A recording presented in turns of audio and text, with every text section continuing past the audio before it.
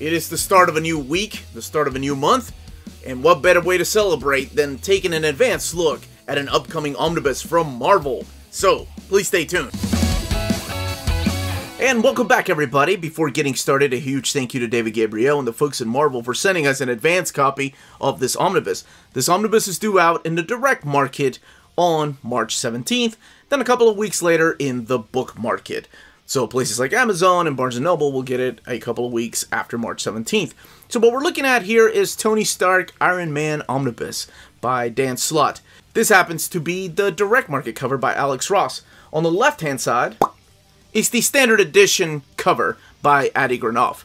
So that one will be available everywhere, whereas the one here on the right is only available through the direct market.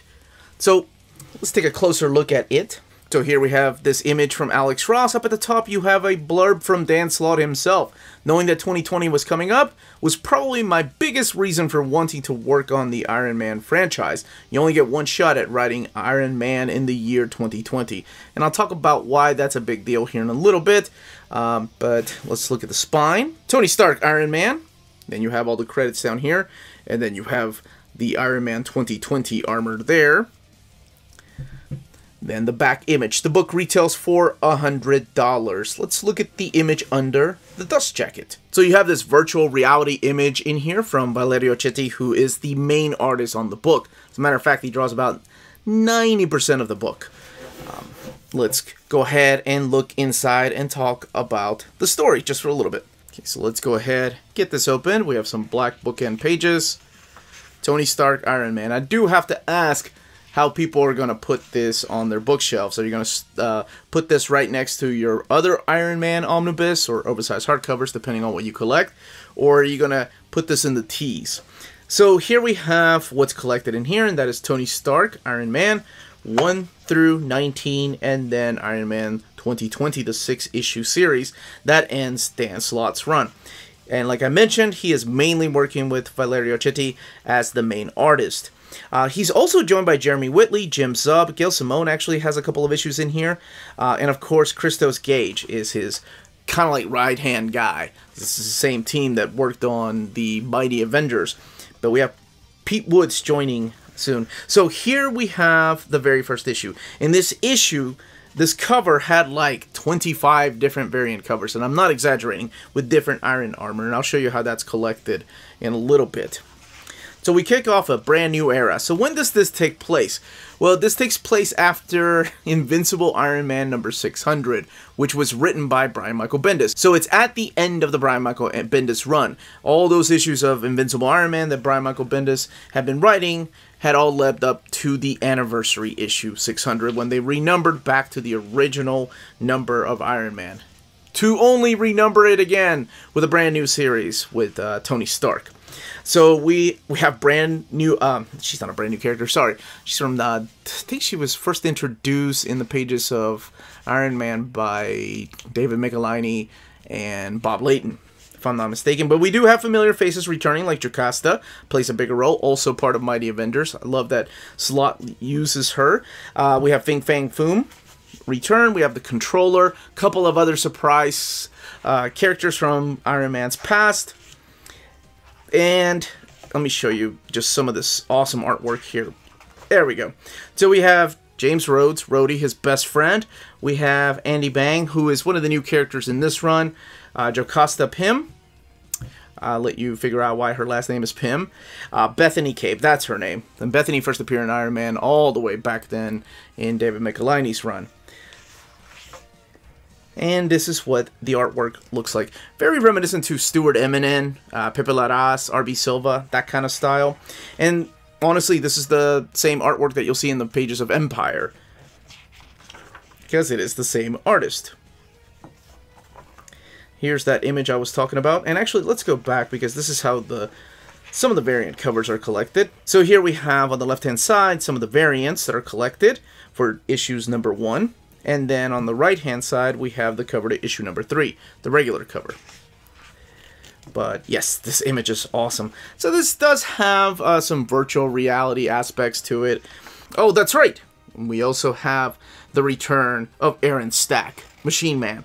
We also see the return of Amanda Armstrong, who was uh, first introduced in the pages of Bendis's run, if I'm not mistaken.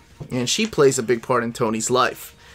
Now, what Dan Slott was talking about in that blurb about being excited about writing Iron Man in 2020 was there was a storyline that started all the way back in 1984 uh, in the pages of actually Aaron Stack's uh, Machine Man comic.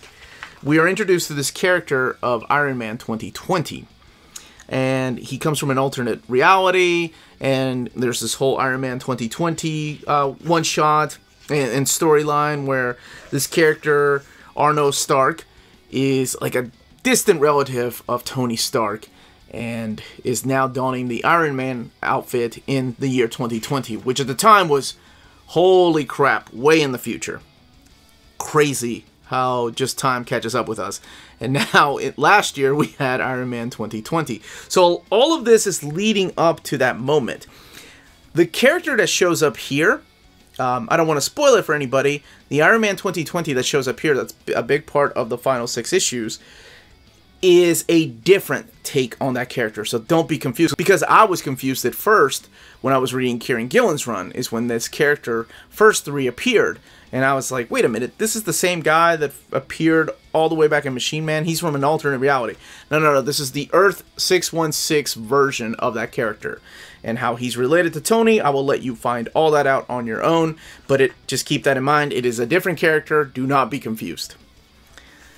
So there we go. There's the controller. So he's back. And like I said, a few other surprises in here. I'll let you find out what those surprises are when you read this uh, for yourself. What I want to mainly show, though, is these beautiful artwork and the vibrant colors that are used in, throughout the pages of this storyline. Oh, and I have to go back to this issue really quick because I love the way that this one's done.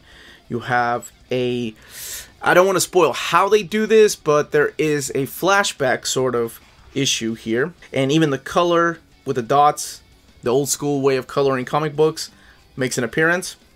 But let's go back here towards the end.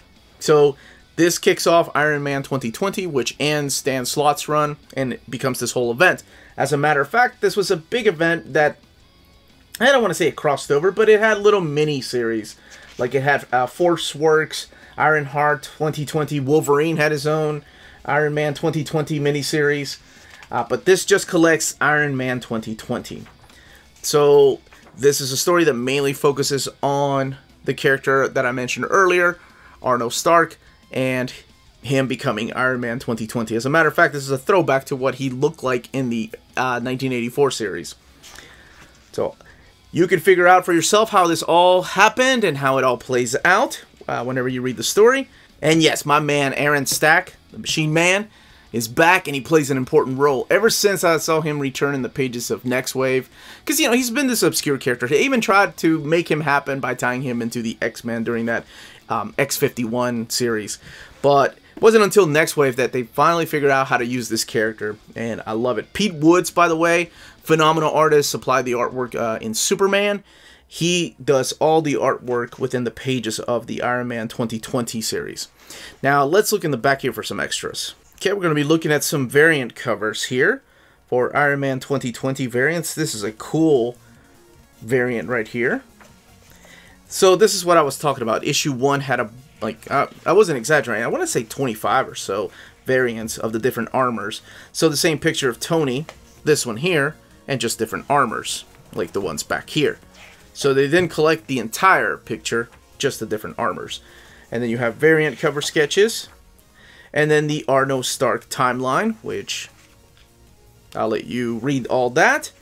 Uh, the pitch and the script here for Iron Man 2020. If you've seen the Marvel, I can't remember what it was called. It was a documentary.